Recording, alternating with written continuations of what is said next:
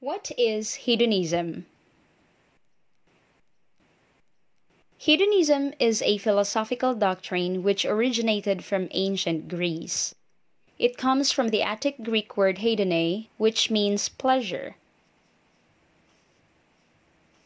The basic argument in hedonism is that the maximization of pleasure and the minimization of pain motivate human behavior.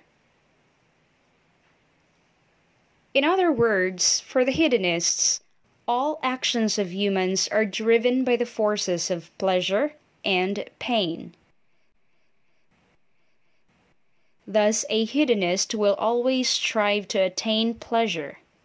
As a matter of fact, he will always devote his life for the attainment of pleasure and avoidance of pain by all means.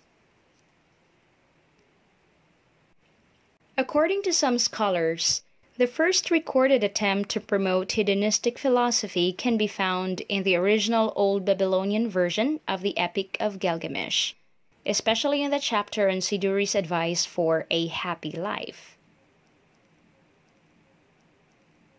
As is well known, well known, Siduri was a goddess of wine, merrymaking, and wisdom. And in the Epic of Gilgamesh, Siduri was referred to as the refresher, or the girl whose drinks refresh the soul. Siduri's teachings read Fill your belly, day and night make merry.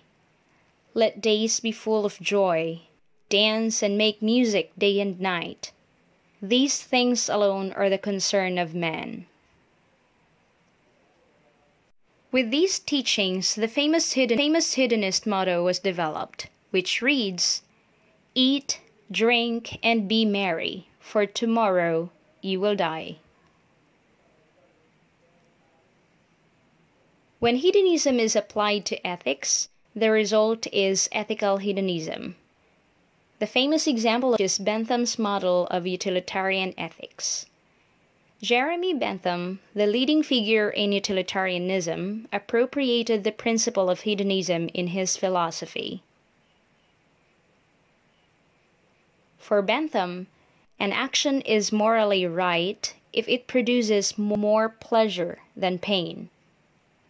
As we can see, ethical hedonism argues that only pleasure has a positive importance, while only pain has a negative importance.